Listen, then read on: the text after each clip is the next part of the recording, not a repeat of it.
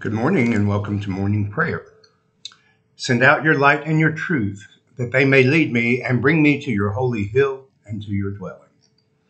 Lord, open our lips, and our mouth shall proclaim your praise. Glory to the Father, and to the Son, and to the Holy Spirit, as it was in the beginning, is now, and will be forever. Amen and Alleluia. the mercy of the Lord is everlasting. Come, let us adore him. And now, with joined voices, let us proclaim the Jubilate. Be joyful in the Lord, all you lands. Serve the Lord with gladness, and come before his presence with a song. Know this the Lord himself is God. He himself has made us, and we are his. We are his people and the sheep of his pasture. Enter his gates with thanksgiving, go into his courts with praise. Give thanks to him and call upon his name. For the Lord is good his mercy is everlasting, and his faithfulness endures from age to age. The mercy of the Lord is everlasting. Come, let us adore him. An appointed psalm this morning are portions of Psalm 119. We will start with Kof.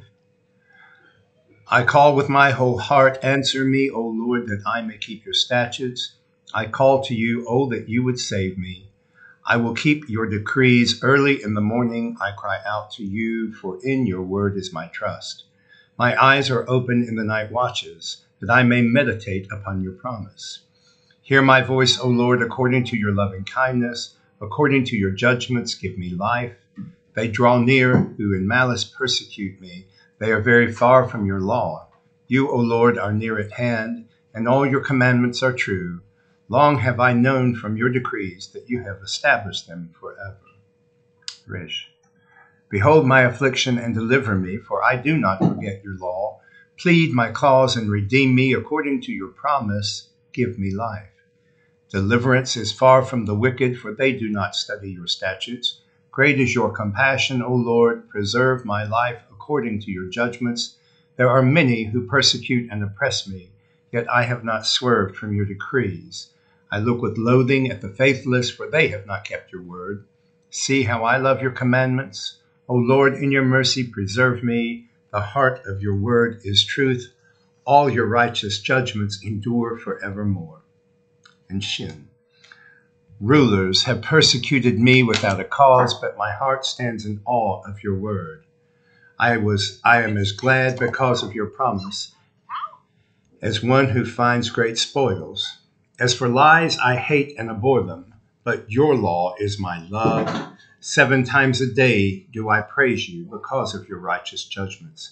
Give peace, have they, great peace have they who love your law. From them there is no stumbling block. I have hoped for your salvation, O Lord, and have fulfilled your commandments. I have kept your decrees, and I have loved them deeply. I have kept your commandments and decrees, for all my ways are before you. Let my cry come before you, O Lord. Give me understanding according to your word. Let my supplication come before you. Deliver me according to your promise. My lips shall pour forth your praise when you teach me your statutes. My tongue shall sing of your promise, for all your commandments are righteous. Let your hand be ready to help me, for I have chosen your commandments. I long for your salvation, O Lord, and your law is my delight. Let me live, and I will praise you, and let your judgments help me. I have gone astray like a sheep that is lost. Search for your servant, for I do not forget your commandments. Glory to the Father, and to the Son, and to the Holy Spirit, as it was in the beginning, is now, and will be forever. Amen. A reading from the book of Samuel. Then Ahimaaz son of Zadok, said, Let me run and carry tidings to the king that the Lord has delivered him from the power of his enemies. Joab said to him, You are not to carry tidings today. You may carry tidings another day, but today you shall not do so, because the king's son is dead. Then Joab said to a Cushite, Go tell the king what you have seen. The Cushite bowed before Joab and ran, and Ahimaaz, son of Zadok, and again to Joab said, Come what may, let me also run after the Cushite. Joab said, Why will you run, my son, seeing that you have no reward for the tidings? Come what may, he said, I will run. So he said to him, Run. Then Ahimaaz ran by the way of the plain, plain and outrun the, outran the Cushite. Now David was sitting between the two gates, and the sentinel went up on the roof of the gate by the wall. And when he looked up, he saw a man running alone. And the sentinel shouted and told the king. And the king said, If he is alone, there are tidings in his mouth. And he kept coming and he drew near. And the sentinel saw another man running, and the sentinel called to the gatekeeper and said, See another man running alone. And the king said, He is also bringing tidings. The sentinel said, I think the running of the first one is like the running of Ahimaaz, son of Zadok.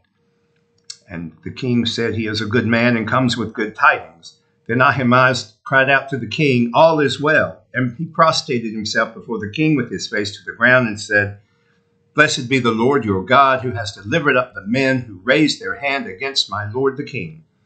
And the king said, Is it well with the young man Absalom? And Ahimaaz said, when Joab sent your servant, I saw a great tumult, but I do not know what it is.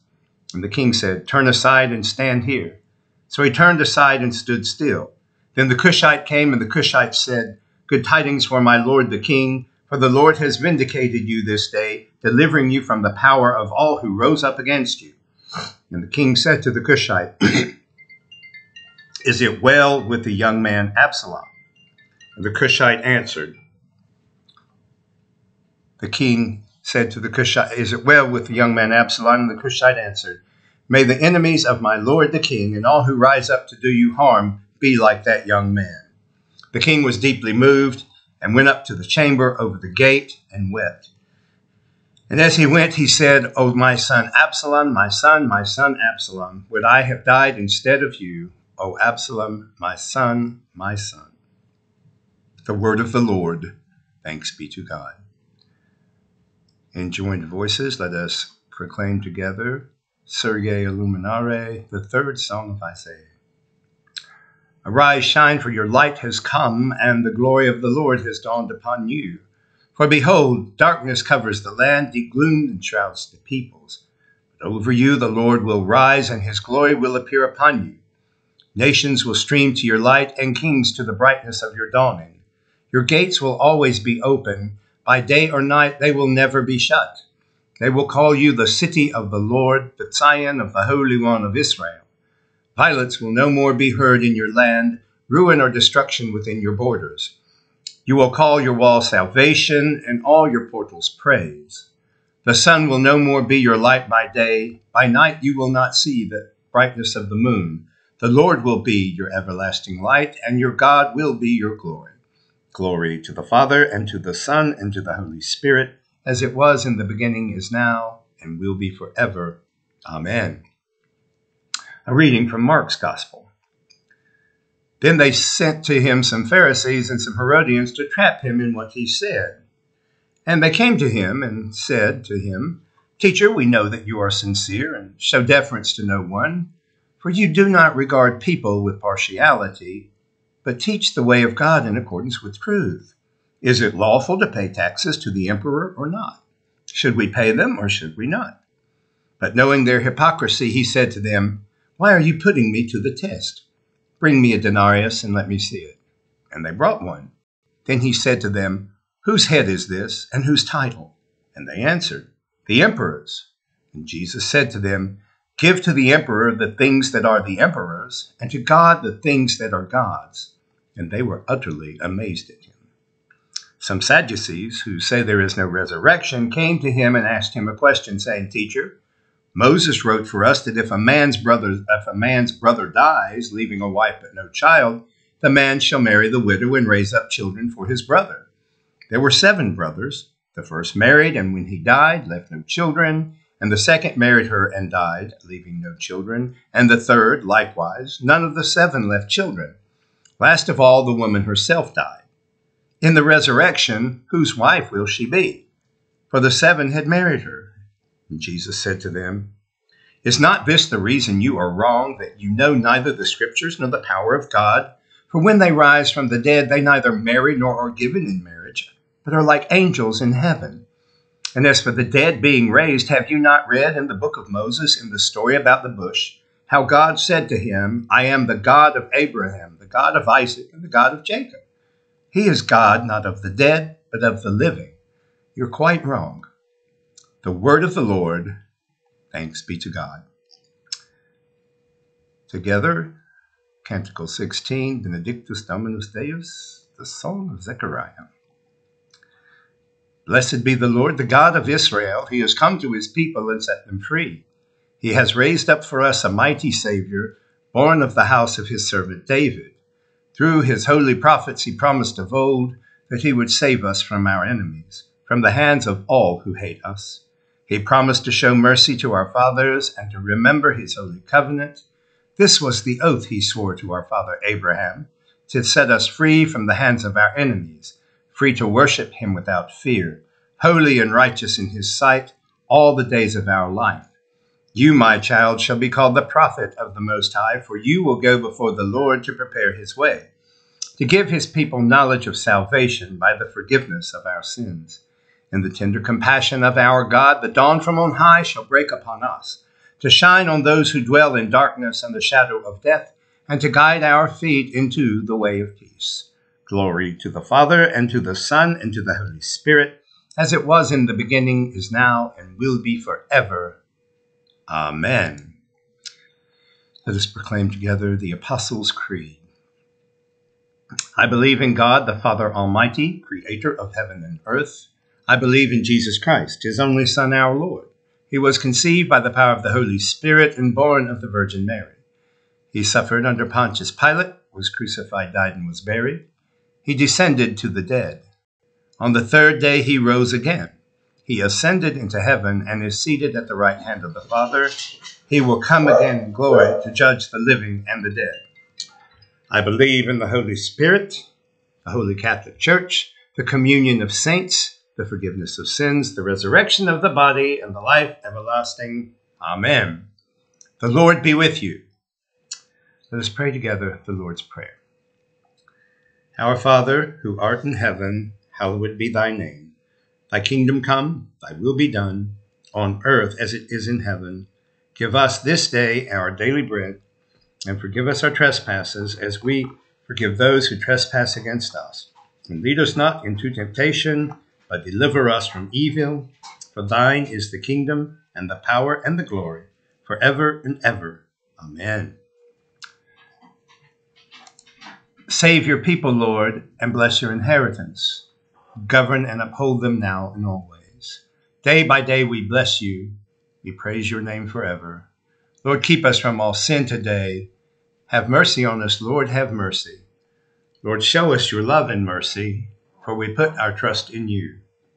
In you, Lord, is our hope, and we shall never hope in vain.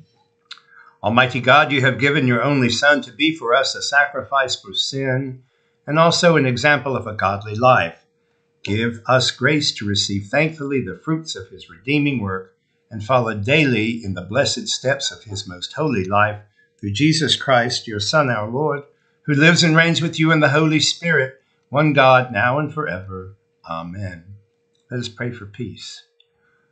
O God, the author of peace and lover of concord, to know you is eternal life and to serve you is perfect freedom. Defend us, your humble servants, and all assaults of our enemies that we, surely trusting in your defense, may not fear the power of any adversaries, through the might of Jesus Christ our Lord. Amen. Let us pray for the mission of the church. Lord Jesus Christ, you stretched out your arms of love on the hard wood of the cross that everyone might come within the reach of your saving embrace. So clothe us in your spirit that we, reaching forth our hands in love, may bring those who do not know you to the knowledge and love of you, and the honor of your name. Amen. Let us now bring our own needs and intentions before the Lord and ask for his indulgence, his mercy, his guidance, and his forgiveness.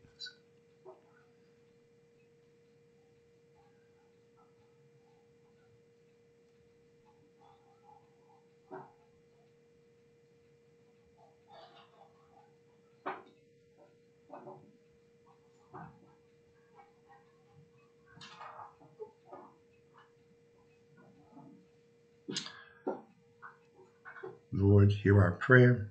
Amen. Almighty God, you have given us grace at this time with one accord to make our common supplication to you. And you have promised through your well beloved Son that when two or three are gathered together in his name, you will be in the midst of them. Fulfill now, O Lord, our desires and petitions as may be best for us, granting us in this world knowledge of your truth, and in the age to come life everlasting. Amen. Let us bless the Lord. Thanks be to God. Glory to God, whose power, working in us, can do infinitely more than we can ask or imagine. Glory to him from generation to generation in the church and in Christ Jesus forever and ever. Amen. Thank you for joining us for morning prayer. God bless you. Remember, leave the world a better place this evening than you found it this morning. We'll see you tomorrow morning. God bless.